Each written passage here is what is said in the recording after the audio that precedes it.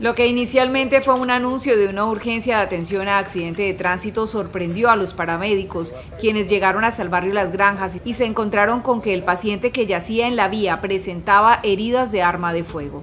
Inmediatamente la reacción en atención al hombre herido, quien al parecer por las heridas habría caído de su motocicleta, fue el de trasladarlo de urgencia al Hospital Regional del Magdalena Medio, en donde está siendo atendido. Este atentado con arma de fuego dejó lesionado a Cristian Fabián Hernández Osorio en un hecho registrado en horas de la tarde de este viernes. Aún no existe un reporte oficial por parte de la policía que permita esclarecer lo sucedido en este hecho.